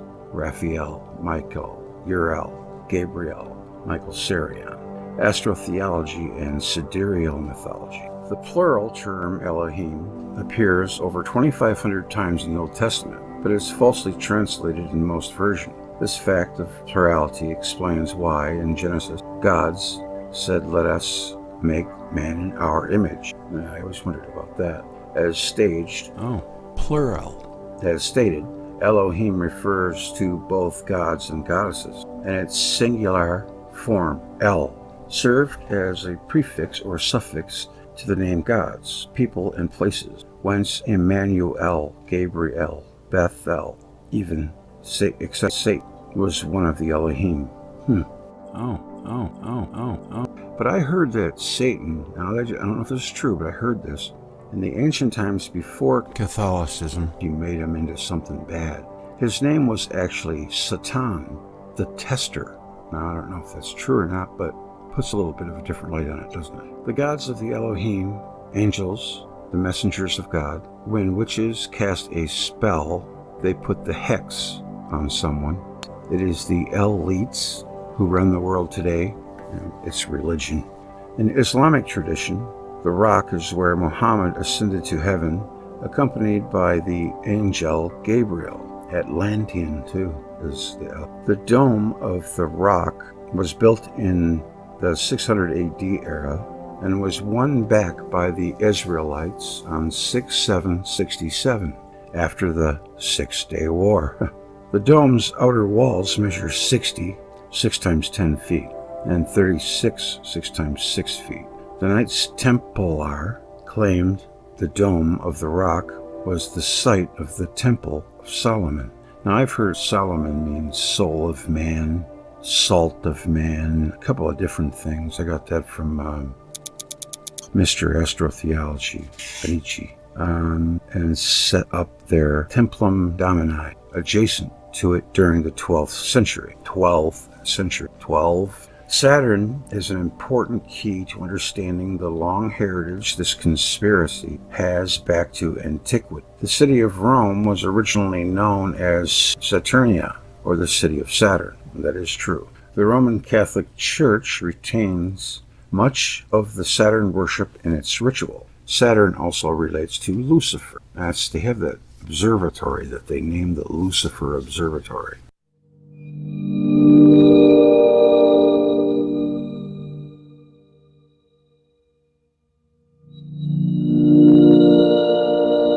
I always wondered that. In various occult dictionaries, Saturn is associated with evil. Saturn was important to the religion of Mithra and also to the Druids, Fritz Springmeier, bloodlines of the Illuminati. Rome was known to the Romans as Saturnia, not Rome, and Saturn was one of their gods. Black is both Saturn's color and Satan's color. I thought it was red. And, uh, he's in a red suit. the Black Holy Bible, Bible, tells us Satan is 666. Satan is the sixth planet. Its symbol, the six-pointed star, is supposedly has a hexagon weather formation. Saturday is actually the seventh day, like I said, and they also used a five point and an eight point star. So that's not entirely right. Is this all divine coincidence? Or is our perception of Saturn and the other planets being manipulated by the Masonic magicians at NASA? And uh, there's an answer that was really good to it. I conversed with Saturn on many occasions. Okay, request the Bible rewritten. Well, who knows? Uh, I don't know. It's crazy. But I'm going to give you a, a, response that was pretty good to all that. Um, the word police, here it's different. Pole ice, P O L E I C E. Huh, how about that? Pole ice. Okay, awesome. Um, interesting that humans are carbon based life forms and since the carbon atom has six protons, six neutrons, and six electrons, our number is 666. Okay, now this other person comes in named Zaro41 and really kind of sets it straight. My dear, you do not know anything of Saturn. You talk about things. The equation Saturn equals Satan was created by the Catholic Church to destroy the cult of Saturn, which was very strong in Italy and throughout the Roman Empire. Saturnus means divine intellect. Nus, the sacred fire, Ur, of the state of being. Sat, Sat, Yuga, was the golden age, and Saturnus was the god of being and time. Saturnus was the god of the golden age. The Latins spoken of the Saturna regna, the reigns of Saturn which were characterized precisely by the god as a symbol of royalty and wisdom. The treasure of Rome was under the temple of Saturn. The Catholic Church has converted Saturnalia into Christmas. Even in the 7th and 8th centuries, people honored the god of gold and being. The destruction of the cult of the god Saturnus was based on the equivalence of Saturn's equals Satan 666. Things are different from what history writes. The story is written by the winners, not the losers. I could write a book about the god Saturn. And, well, that kind of changed it a little bit. I, uh, I, I you know, I'm totally onto that. And um, then, then someone comes in and says this: the planet Saturn used to be extremely close to the Earth. Whether or not the Earth-Saturn system was as close to the Sun as present-day Earth is unknown. Viewing our solar system's past from the way it looks in present is chasing a dead end. It didn't always look this way. Saturn used to look much different and had no rings. It was in all likelihood a brown dwarf. Amen. The Earth's star, as the Far East still refers to it as Sol, Saturn, was a binary star system. Sol had planets of its own, and Earth was one of was not an Earth. Oh, the Sun had planets of its own, and Earth was not one of them. Earth belonged to Saturn. Saturn appeared as an eye in the sky, the origin of the all-seeing eye. What happened? It got too close to the Sun. Tidal forces literally destroyed the planet. Venus was likely created from a Saturn ejection, as was the ice that make up its rings. It is possible that Saturn split into Jupiter and Saturn, or quite possibly one or both of the other gas giants. Yeah, that, that might be very possible, like Neptune. It's also possible that Jupiter's always orbited the Sun. Yes, indeed. They have the uh, same, pretty much the same axial tilt, and they share a few other things as well, like oxygen. Nerdas, or uh, Jupiter and the Sun were the ancient solar system. Either way, the orbit of the Earth was changed. Tidal forces and debris set off volcanoes wreaked havoc on the planet. Saturn, when visible, would have looked like a fiery winged disk during this destructive process. The raining ice particles would have flooded the planet. The influence of the Sun would have had a dramatic effect on all life. Eventually, things stabilized as they are today, with Saturn, our father, far from us. Mars, another Saturnian planet that had life, was placed in an orbit where life was unsustainable. How this would have looked to the intelligent creatures of Earth is likely the origin of many mythologies and religions. Well said. By the way, if Saturn was a brown dwarf, the sun's light might, depending on their orbit, shine down at an angle giving the impression of an arc. This is why, in Egyptian mythology, the sun rests on an arc or bull horns. Pretty good, pretty good. And this person's name was Anonymous. Should have left your name. That was an excellent answer. Um, that is on the AtlanteanConspiracy.com. I don't know much about it. I just I just happened to catch that. And let's not forget the human chakra system, which resembles Saturn and its rings. The interesting where they, they smoke hashashin were luscious grounds, beautiful, luxurious places with lots of grass and flowers and fruits, and virgins. So this business about the virgin and the reward was done there by Hassanim. Ah, that's where they get their idea of heaven idea, from. Right. Huh. That, that's where that came from. Interesting. Know. But this is all in Spencer's Encyclopedia of the Occult. He himself, Spence, the author, was a Rosicrucian. That's a, that, that's another Sufi group. I don't want to go into the Rose Cross.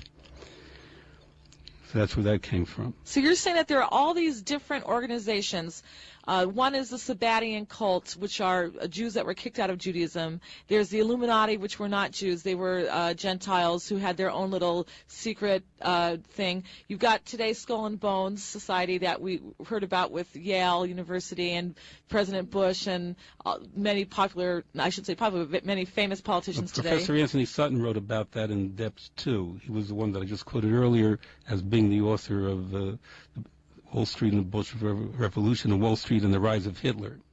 So Anthony Sutton has, has written about that. He has a separate book out on that. Now I can tell you that in my in my two volumes, I start showing straight lines from the Illuminati and the Frankists, the Haskalah movement, the Jacobin Society, the Reform movement, and different years that initiatives had. The Illuminati were involved to destroy the Bible and biblical authority and to help promote biblical criticism in the university. Policies and agendas and who's running things. So, Rabbi Antelman, what you're saying is, is that a lot of this started with a cult of people who thought that Shabtai Tzvi, who lived in the uh, 16th century or the 17th, 17th century, 1626, 1676. Okay, he claimed that he was the um, Messiah. Uh, in the end, he got so many followers that he was a threat to the kingdom. So the Sultan said either convert or die. He was jailed. He was put in prison. He chose. Got into the whole death cult aspect of it, which will be the next episode. So until then, please like, share, or comment. The more attention or the more love you give this video, the more eyes it will reach. Take care, and I'll see you on down the road. using the standard model of stars. So the solution, completely ad hoc, the object must have twice the surface area, it must be twins. Now the electric universe says, I mean, that is just an amazing uh, uh, ad hoc solution. The spectra of red dwarfs are crowded with molecular absorption features that are not well understood. So it's hard to extract the physical properties of a given red dwarf from its spectrum. That is also interesting. But the fact that there are so many molecular absorption features indicates that all of the requirements for life exist within that glowing envelope. So, all stars are electric. All stars, all red stars are gigantic. Planets can orbit within their anode glow, and even astronomers acknowledge that. They have suggested that there could be satellites uh, orbiting within the Betelgeuse glow. However, with their notion that the red giant is formed by an ultra-hot core, those planets would not be suitable for life. In the electric universe, it has a cool core. Objects orbiting within the red envelope are suitable for life.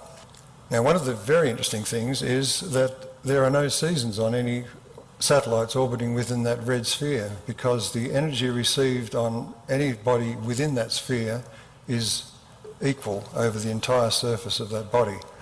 So that a planet orbiting within that red sphere has no seasons, even temperatures. In fact, I would say the brown dwarfs are the cosmic wombs of life in the universe. One of the interesting facts, of course, that would uh, suddenly come out of this is that these red spheres are glowing plasma, and glowing plasma will not let radio waves pass through. So the search for extraterrestrial intelligence using radio waves is, in my opinion, a wasted effort because anyone living on a satellite inside one of these glowing red wombs would not even be aware that there was a greater universe out there full of stars, let alone try and use radio, because any radio signals would not pierce that, um, that plasma. Just an interesting side issue here. So this is my view of Proto-Saturn, and I've just put two satellites there, but there are obviously more. Titan, for instance, would have been one of the satellites. Earth and Mars. So there they are inside this glowing shell, and the evidence uh, of the earliest recollections of mankind appears to be that the purple dawn of creation uh, was the, the skylight. That was the colour of the sky, purple dawn. And that is precisely the colour you would expect in this circumstance because you have the red end of the spectrum and you also have a certain amount of the violet and ultraviolet light due to electrical activity in the plasma. So this fits with the, if you like, the earliest recollections of mankind, that that was our environment. 50% of red dwarfs have Earth-sized planets in their habitable zone. Remember I said that astronomers feel this is the place where life is most likely to be found. Now if you look at uh, Jupiter, for instance, and consider that as a, a red dwarf and its plasma sphere was lit up, Io has a 1.75 day orbit, Europa has a 3.5 day orbit, Ganymede 7 days and Callisto 17 days. Any of the satellites that were released from Jupiter's grip would have a rotation rate which equaled their daily rotation rate because they're locked always with the same face towards the, um, the central body. It suggests that the Earth and Mars had orbits which uh, were about a day in length. This is the kind of information that you can get from this kind of model. The other thing is, you'll notice in this uh, diagram, there is no Venus. So, we have a huge red anode glow, which was what we call proto-Saturn. We had a purple dawn of creation and no Venus. These are the important things to understand about proto-Saturn. Just recently, um, a map of a red, nearby red dwarf was produced using a Doppler imaging technique. It's one of a pair of red dwarfs near Alpha Centauri with a separation of three astronomical units. There's a bright near polar region which can be clearly seen in the upper right panels and a darker mid-latitude area visible in the lower left panels is consistent with large-scale cloud inhomogeneities. However, that's an assumption that what we're looking at is an atmosphere, but we're not looking at an atmosphere, we're looking at a plasma sheath. So the, this variation said in the electric universe model will be due to objects orbiting within that plasma sheath, either inside or outside that plasma sheath, because that would affect the discharge. The other thing is that um, this bright spot towards the pole is the same kind of thing that's found with, at Betelgeuse, the red giant, which indicates that that's the electrical connection with the Birkeland currents that drive these particular stars. If I'm right, the patterns here should be more repetitive than weather patterns and without banding like Jupiter, which is undetectable so far by this technique, but you never know what they can do tomorrow. Red dwarfs and giants change in radius, which is not the kind of thing that you would expect if this is um, uh, a normal body. However, this change in radius is the star's response to changes in its electrical environment. It's quite natural. It's a plasma effect. They also tend to flicker in brightness. All of this is indicative of a star lacking the stabilising effect of the bright photosphere of bright stars. That's according to Don Scott's transistor model, that is a stabilising influence in all bright stars. Red stars don't have that luxury. Proto-Saturn's capture. This is uh, the interesting part of it. This took me decades to try and figure out because the model of planets arranged with their poles in a line is unstable. There's no Newtonian theory to explain a, a, daisy chain of planets. So it eventually dawned on me that what we had was a dynamic arrangement where Proto-Saturn, which is in this diagram over here, that's Proto-Saturn, and you can just see a few little brighter red dots behind it. They are the Earth and Mars and other satellites. That's meant to represent those satellites. The explanation came to me once I had realised that the stabilisation of the planetary orbits as we see them today, why is the Newtonian system a clockwork system, or it appears to be a clockwork system, when you only have one force? Well, the answer is you, you cannot have a stable system with one force. There has to be a feedback mechanism. And as I explained the other day, you can change the mass of a planet or a star by either placing charge on it or taking charge away.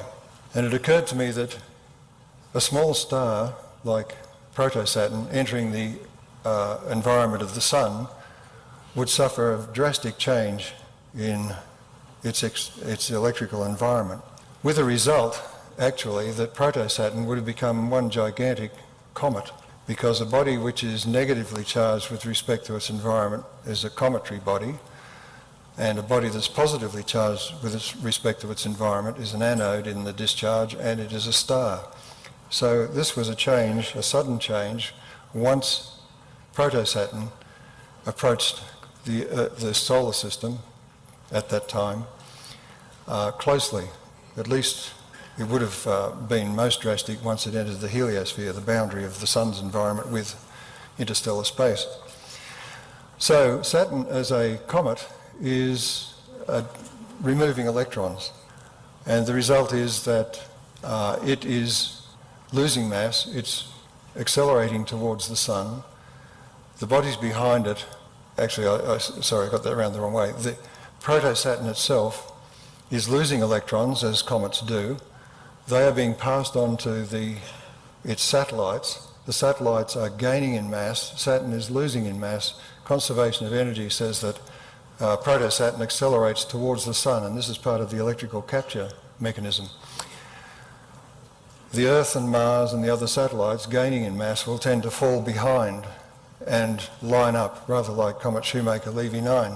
The electrical discharge, the polar discharge, in my opinion, then, is the central column of Saturn's cometary discharge. We were sitting in this cometary tail, right in the middle of it.